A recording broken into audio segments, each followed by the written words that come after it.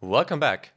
In the last video, we finished our input summary sheet, which includes all the data we have. Now it's time to create the analysis part to retrieve all the data we actually need. Now before we start, let's take a look at the formulas and functions we will use to create that analysis sheet. Now we will use the if formula, the index match and index match match formulas. We will also use the sum product formulas with multiple conditions and I will explain to you what that little dashes right here mean. These formulas will also be combined with a left or right formula. In addition to that, we will talk about basic array formulas, the transpose formula. Further, we will talk about how to combine cells and how to create some nice data lists. Now, this is a lot of information, right? So I decided to split that analysis sheet series into two parts. In the first part, this video, we will only talk about the if formula, about the index match formula and how to combine that with left or right, and about how to combine cells. In the second video, we will talk about the other formulas and by that finish the analysis sheet. Now that we know what formulas and functions we are going to use, let's take a look at what we actually want to do. So we want to create analysis tables. This means that we want to retrieve the information that we actually need in the format that we want. So this means we want the first table in this way. This means we want a list of the countries and the statistics by the different periods. And we want a comparable table for the regions. So all the regions, North America, Asia, and so on, and the periods. And the statistics should be retrieved as follows. We want to be able to select the statistic that we want to be displayed right here, like this. And this should be something like a list where we can select the statistic that we want. So this is the final goal of those videos, so those two parts. Let's start and see what we have to do to achieve our goals right here. So I'm back in the input summary sheet we created in the last video.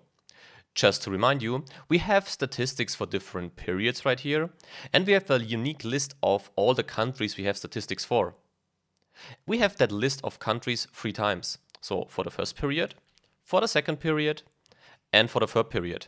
But the list of countries is always equal. That's important to know. Now let's go back to the beginning and think about what else we might have to add to be able to create that analysis tables the way we want them to be. The problem at the moment is the identification of the country. If you would look for a country in column B, this would not be unique because we have all the countries three times. Now, if you want to identify each country, you need to create something like an identifier. And as we have each country for each period only once, a good identifier would be a combination of the period and of the country name, mm, or the country ID, as you prefer. Let's create something like that. So the first thing I'm going to do is I'm going to add a column. So I'll select column B and press Ctrl V, like this. Let's increase the column width a little bit and write identi identifier, because that's what it's going to be. So as we said, we want to create that identifier based on the period and the country ID. Now, we talked about that a little bit in the last video, and that we can combine cells with an AND symbol. This is what we need right here. Let's see how this works. So I'm writing equals, select the period, write AND. Now we need to define how these two cells are separated. So we need a quotation mark and a space maybe, second quotation mark. And now we have to write the second AND and select the country ID, like this. If we now press enter, you see that we basically have what we want. So the period and the country ID. But if we copy that formula down now, then this doesn't work because the cell that identifies the period is empty. Now, of course, we could copy down that period, but I don't want to change column A to be honest. So the only thing I want to work on now is column B. So we need another solution. Let's see how we can find that solution by working on the result in column B4, so the one we just selected. So we need to build a condition. This means if that cell would be empty, then it should retrieve the period from the previous row right here. This is not totally correct and we have to adjust this further probably, but it would be a first step. Let's see how we could do this. So I'll select the formula and write if. And now if A4 is empty, right, if there is nothing in it, the way we have it right here, then the value of the previous row, like this, should be retrieved. If this is false, so if this cell here is not empty, well, then simply retrieve that value from that cell. Let's now close the if formula and see what happens. Yeah, we are getting closer, but we have one problem. At the moment, we retrieve the entire value of the previous row. So we have the period and the country ID. So we should get rid of that country ID in that formula. And we could do that by adding a left formula to that existing formula. Because the left formula allows us to retrieve a defined number of characters of that previous value in the cell that we can see right here. So let's add that left formula. So we are fine with that. But the only problem is that if that cell is empty, it should not retrieve B3, but left, B3, yes, but only the first, what is it, January to 16, 10 characters, like this. Let's close the left formula. And if that is not true, this is A4. I think this should work now. Let's try that. Now this result is exactly what we want to have. If A4 is empty, then give us back the first 10 characters of the previous row, so actually only the period. And if A4 is not empty, well, then give me A4 and combine that result with the country ID. This is great, so we can now press enter, go to the last cell right here, press left, press shift control and the up arrow key and press control down. And now we see that we created our unique identifier, which is defined as the period and the country ID. Now it's time to create the analysis sheet, right? So let's do that by pressing plus right here, dragging that sheet to the left, double clicking it to rename it to analysis maybe. And we actually have already the first two columns because we need the identifier to identify the statistic or the country, the period, and the corresponding statistic. And we have that country name. And you remember, we want to build a table that includes the country name. So let's copy that first two columns into that analysis sheet. So I'll select this and that, press Control, Shift, and the down arrow key, press Control Z, go back to the analysis sheet, and now press Control Alt V we learned that shortcut in the last videos, and press paste link. Now let's select both columns, double click that line to increase the column width.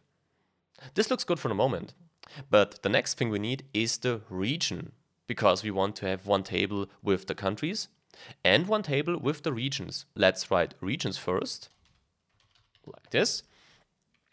And we have that regions already, right? Because you remember, in the first video, we imported the input data and a country sheet with some country codes. Let's take a look at that. This is that sheet that we imported. And in the first column, we have those region or continent codes, you can call that as you prefer, for Asia, Europe, and so on. In the second column, we have that country codes, so that codes we just imported from the input summary sheet. So we now need to match, and that's what we're going to do, the country codes we have in the analysis sheet with the country codes right here and retrieve the result from column A. And we also did that in one of the previous videos. We simply need to create an index match formula. Now I explained to you why it's called index match and why I start writing match first because the match part is the one that identifies the country ID in that case, and the index part is the one that retrieves the result, so the regional code. So that's why we start writing match.